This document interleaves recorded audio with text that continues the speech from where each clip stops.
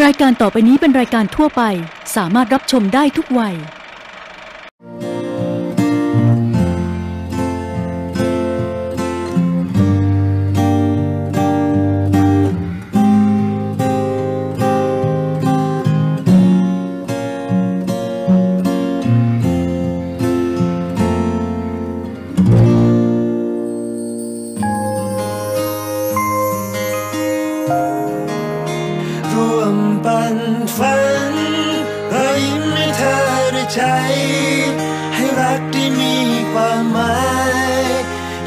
เคียงข้างไป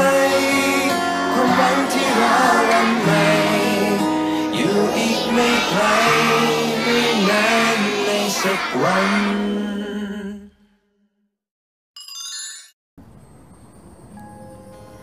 วัสดีค่ะคุณผู้ชม พบกับรายการปันฝันปันยิ้ม รายการที่พร้อมจะเป็นสื่อกลางในการช่วยเหลือสังคม ออกอากาศเป็นประจำทุกวันจันทร์เวลาบ่ายโมง 5 นาที ทางช่อง 5 แห่งนี้นะคะ วันนี้คุณผู้ชมอยู่กับฝนกัญญาพักอินทรรักษา รองอันดับหนึ่งมิส s ท u ริซึมควีนไทยแลนด์ 2017 ค่ะ วันนี้ฝนรับหน้าที่เป็นจิตอาสาที่จะพาคุณผู้ชมมาทำความรู้จักกับมูลนิธิออทิสติกไทยให้มากยิ่งขึ้น ว่ามีการทำงานเพื่อเด็กออทิสติกอย่างไร รวมไปถึงชมความสามารถของเด็กออทิสติก ที่คุณผู้ชมเห็นแล้วต้องอึ้งแน่นอนค่ะ ถ้าพร้อมแล้วตามฝนไปพบกับประธานมูลนิธิออทิสติกไทยกันได้เลยค่ะ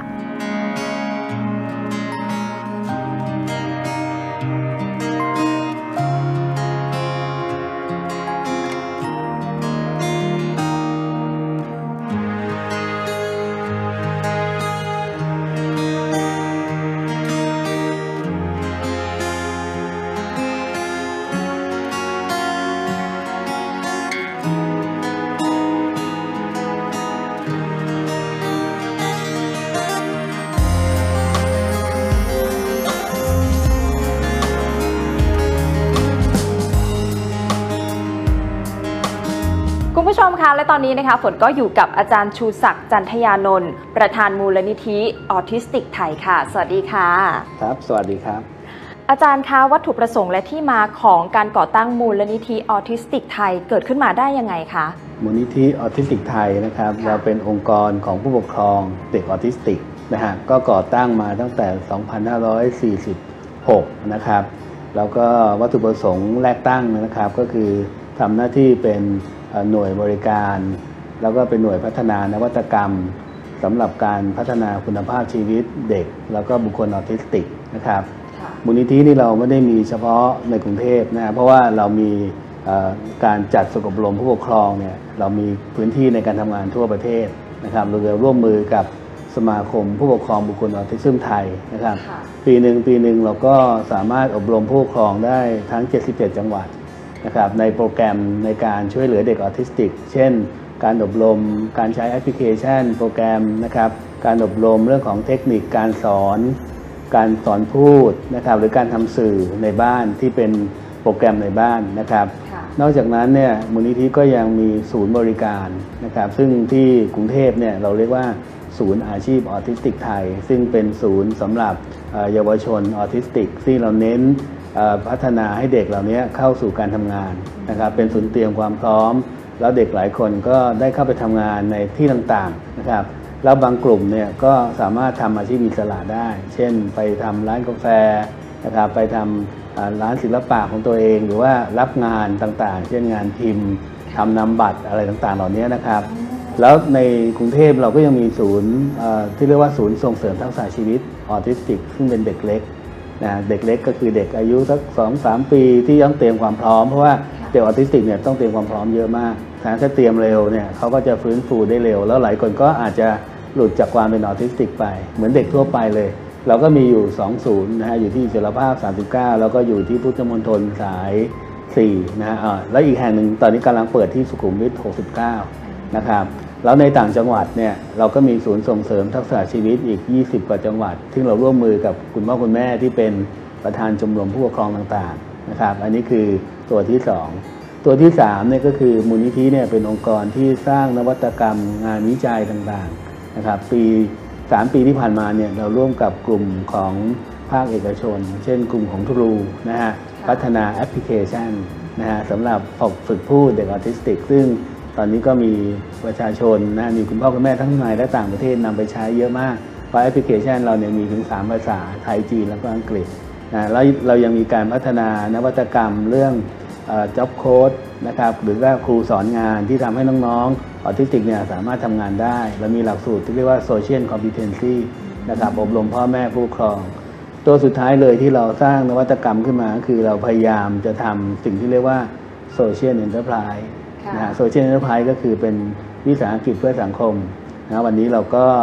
ประชุมเครือข่ายของเรา แล้วเราก็เตรียมที่จะทำเป็นเครือข่ายวิสาหกิจออทิสติกไทยวิสาหกิจเพื่อสังคมนะครับที่จะเน้นเรื่องของการพัฒนาอาชีพอิสระ การจำหน่ายผลิตภัณฑ์ของน้องแล้วก็นำรายได้เนี่ย กลับมาช่วยน้องๆ อีกหลาย ๆ คนหรือครอบครัวใหม่ๆที่เข้ามาครับ โอ้โหค่ะ แล้วปัจจุบันนี้ค่ะ มีเด็กที่อยู่ในความดูแลของมูลนิธิกี่คนคะในอาจารย์ในกรุงเทพนี่ตอนนี้เฉลี่ยปีละเกือบเกือบ200 คน แล้วถ้ารวมต่างจังหวัดด้วยก็ตกประมาณ 1,000 คนต่อปีนะที่เราให้บริการอยู่ครับ ค่ะ แล้วเด็กที่อยู่ในความดูแลของมูลนิธินี้ค่ะ เขาจะได้เรียนรู้เกี่ยวกับเรื่องอะไรบ้างคะโอ้เรามีโปรแกรมหลายโปรแกรมนะฮะถ้าเป็นเด็กเล็กนี่ก็เป็นโปรแกรมส่งเสริมพัฒนาการอืม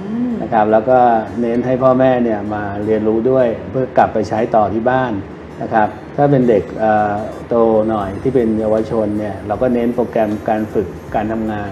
นะครับ โดยมี 2 เป้าหมายคือฝึกเพื่อไปทำงานกับสถานประกอบการ หรือว่าไปสมัครสอบทำงานรับราชการอะไรก็แล้วแต่นะครับ หรืออีกกลุ่มหนึงก็คืออาชีพอิสระนะครับนอกจากนั้นเรายังมีการจัดเขาเรียกว่ากศน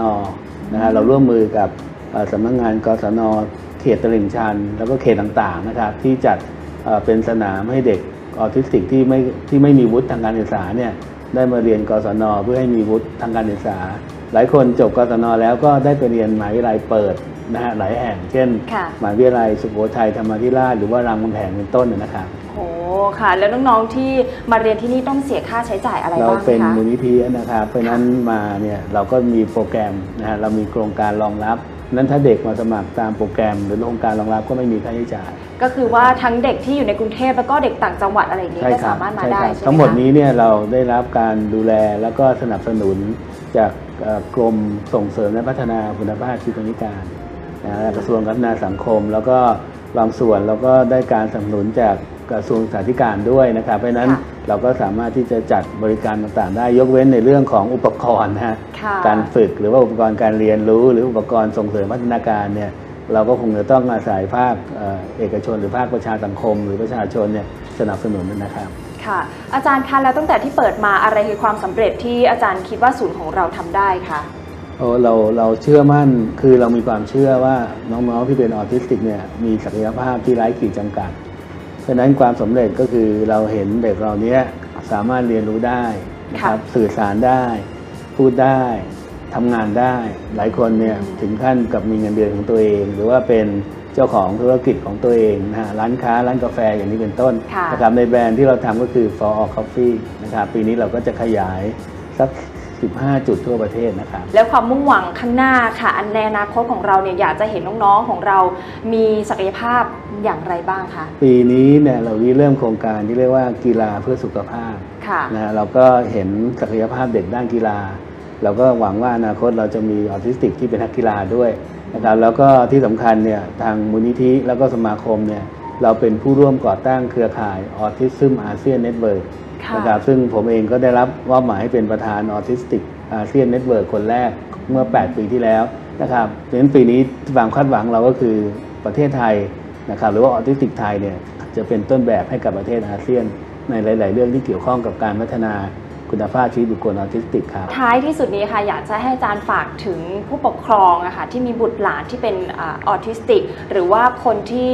ไม่เข้าใจเกี่ยวกับเด็ก ๆ หรือว่าคนที่เป็นโรคนี้หน่เอาอยส่วนค่ะเอาส่วนผู้ปกครองก่อนค่ะนะฮะส่ส่ววนนผู้ผู้ปปกกคครรอองงเนี่ยผมคิดว่าอย่าไปกังวลว่าลูกเป็นอะไรนะครับ ถ้าพบลูกว่ามีความบกพร่องหรือความต้องการจำเป็นพิเศษเนี่ยให้รีบช่วยเลย นะครับเพราะว่าเด็กเหล่านี้ถ้าช่วยเร็วเนี่ยหลายคนก็ก็พ้นภาวะนี้ก็คืออาจจะเรียกว่าหายได้นะฮะค่ะแล้วก็ต้องเชื่อมั่นนะว่าลูกหลานเราเนี่ยมีศักยภาพ แล้วไม่มีคำว่าสายเกินไปนะครับ ยอมรับแล้วก็ลงมือทำนะครับวันไหนวันนั้นลูกก็ก้าวหน้านะครับ ส่วนสังคมนะฮะต้องขออนุญาตนะครับที่จะต้องขอบคุณนะฮะผู้คนในสังคมวันนี้เริ่มรู้จักเด็กออทิสติกมากขึ้นนะครับแต่ว่ายังมองภาพเด็กออทิสติกที่หลายเป็นหลายภาพค่ะบางคนก็มองแบบโหอัจฉริยะ นะบางคนก็มองว่าโอ้เป็นคนเจ้าอารมณ์นะครับจริงๆเขาเป็นเด็กครับ เด็กคนหนึ่งที่มีธรรมชาติของความเป็นเด็กอยู่ หรือว่าเป็นเยาวชนคนหนึ่ง เพราะฉะนั้นถ้าเขาเป็นเด็กหรือเยาวชนคนหนึ่งเนี่ยก็ถ้าเขาทำอะไรที่ผิดพลาดพลั้งไปบ้างเนี่ยก็ให้โอกาสเขานะครับ ก็จะอยู่กันอย่างร่มเย็นเป็นสุขนะครับนะคะ วันนี้ก็ต้องขอขอบคุณอาจารย์ชูศักดิ์เป็นอย่างสูงนะคะ ที่กรุณาให้เกียรติมาร่วมพูดคุยกับรายการของเราค่ะครับผมขอบคุณค่ะขอบคุณครับ คุณผู้ชมคะพักสักครู่ค่ะ ช่วงหน้าเราจะไปชม และก็ฟังข้อมูลเกี่ยวกับสูตรอาชีพออทิสติกไทย และชมศักยภาพของน้องๆ ที่อยู่ในมูลนิธิออทิสติกไทยแห่งนี้กันค่ะ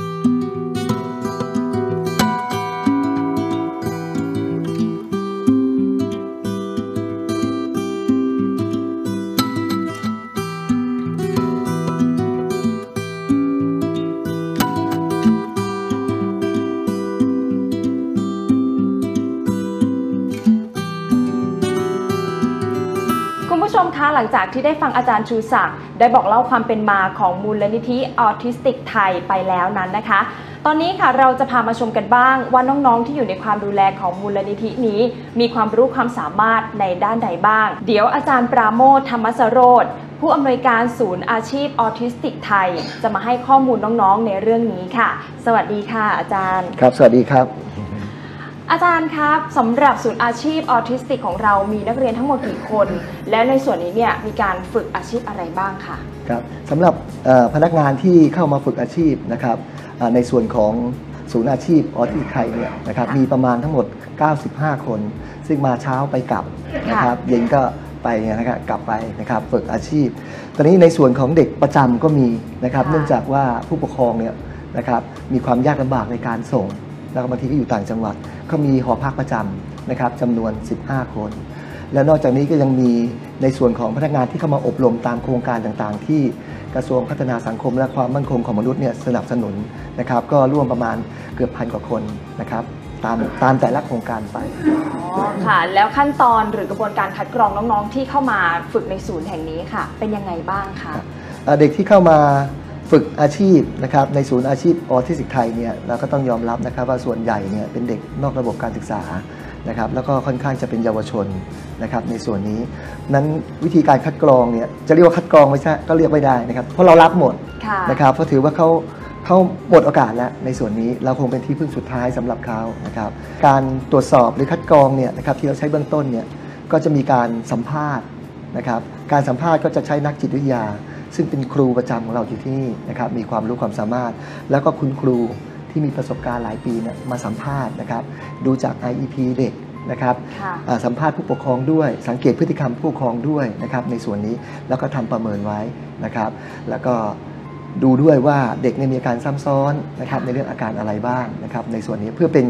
เอ่อข้อมูลนะครับสำหรับการอ่า พัฒนาเด็กต่อไปครับ กิจกรรมที่ใช้ในการฝึกส่วนใหญ่เป็นอะไรคะแล้วน้องๆที่เข้ามาฝึกเนี่ยมีความเปลี่ยนแปลงยังไงบ้างคะหลังจากที่ได้รับการฝึกไปแล้ว เด็กที่เข้ามาปั๊บเนี่ยนะครับใหม่ ๆเลยเนี่ยก็จะไปอยู่ที่ศูนย์ฟื้นฟูก่อน เราเป็นห้องฟื้นฟูเราเรียกว่าห้องแรกรับนะครับก็จะมีคุณครูที่มีประสบการณ์เนี่ยคอยสังเกตพฤติกรรมค่ะขณะเดียวกันก็ให้องค์ความรู้นะครับทางด้านวิชาการโดยผ่านกระบวนการกิจกรรม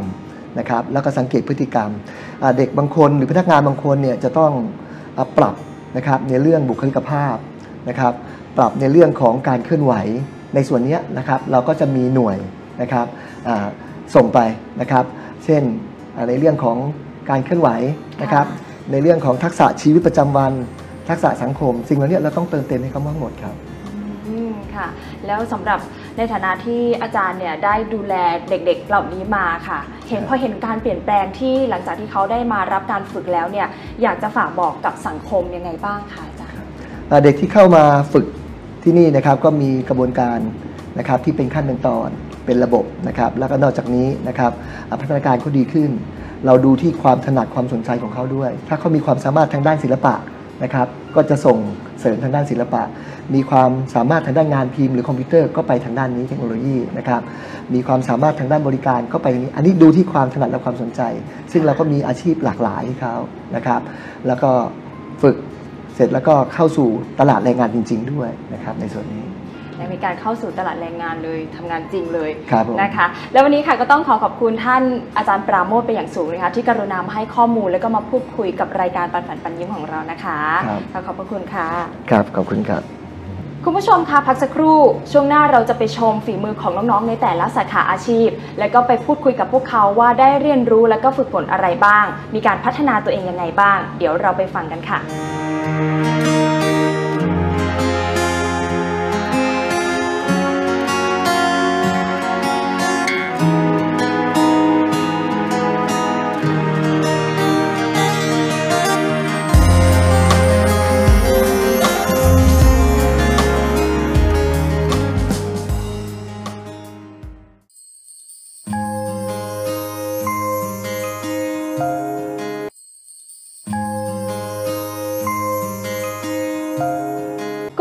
และอีกหนึ่งคนที่น่าสนใจไม่แพ้กันนะคะ นั่นก็คือคุณหมีที่ทำเกี่ยวกับทางด้านกราฟิก และตัดต่อนั่นเองค่ะ สวัสดีค่ะ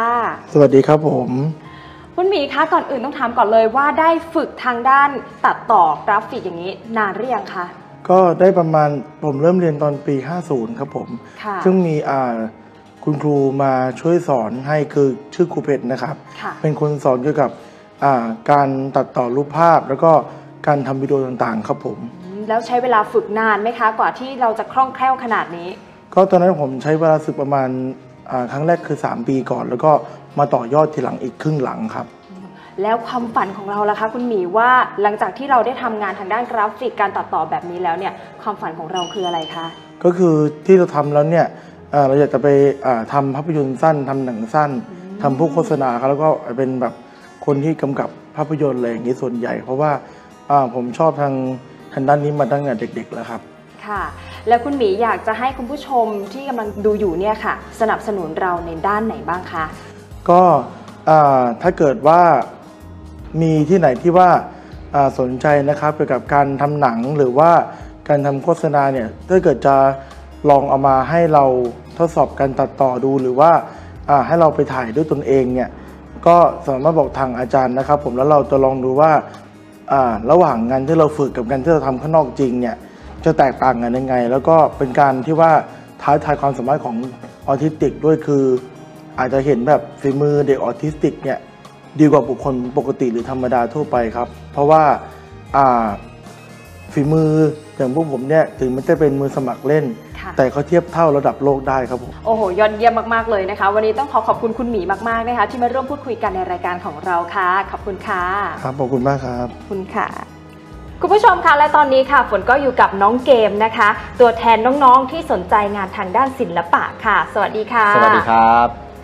น้องเกมคะทำไมถึงสนใจงานด้านทางศิลปะล่ะคะ ก็งานศิลปะก็เป็นงานที่ใช้ความคิดสร้างสรรค์ที่จะถ่ายทอดให้กับคนรุ่นหลังๆ แล้วก็คนรุ่นใหม่ว่าเด็กออทิสติกไทยอย่างเรานั้น ก็มีจินตนาการที่ไกลที่ไม่ต่างอะไรกับเด็กปกติครับ ค่ะ แล้วใช้เวลานานขนาดไหนคะ ถึงจะรังสรรค์ผลงานสวยๆนี้ออกมาได้ ก็ขึ้นอยู่ที่ว่าผลงานนั้นอะ เราคิดออกมา เราอยากให้เป็นรูปทรงแบบไหน ก็ต้องเก็บรายละเอียดอยู่พอสมควรครับอืมแล้วน้องเกมเนี่ยอยากจะให้มีผู้สนับสนุนในด้านงานศิลปะอย่างไรบ้างคะ ก็ขอให้ผู้ชมทางบ้านช่วยฝากซื้อผลิตภัณฑ์ของน้องๆ เพื่อให้น้องนั้นเกิดความชื่นใจ แล้วก็เขาอาจจะภูมิใจที่ว่าผลงานที่เขานั้นใส่ลงไปนั้น สามารถที่จะขายได้และนำเงินนั้นไปเลี้ยงดูครอบครัวของน้องๆเขาได้ครับ เยี่ยมยอดมากเลยค่ะ พี่ฝนก็ต้องขอเป็นกำลังใจแล้วก็ขอชื่นชมน้องเกมมากๆนะคะ วันนี้ขอบคุณมากๆนะครัคะบที่มาร่วมพูดคุยกันค่ะ ขอบคุณค่ะขอบคุณครับ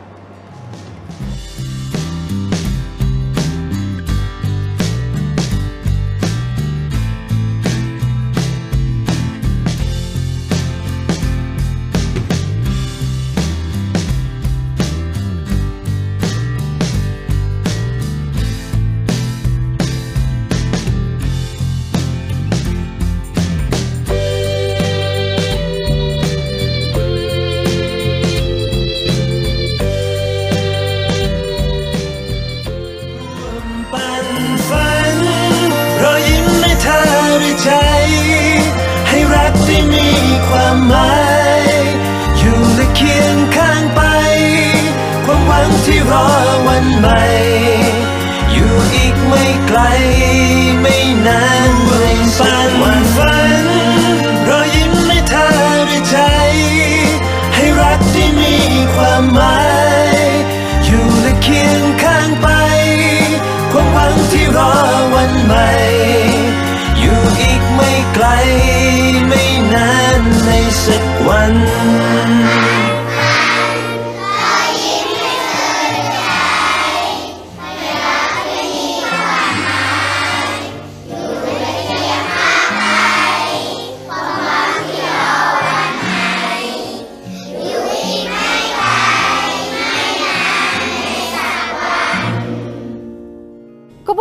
วันนี้ฝนรู้สึกทึ่งมาก ๆ ค่ะ กับความสามารถของน้อง ๆ ที่ได้เห็นในมูลนิธิออทิสติกไทยแห่งนี้นะคะ พวกเขามีพลังในการเรียนรู้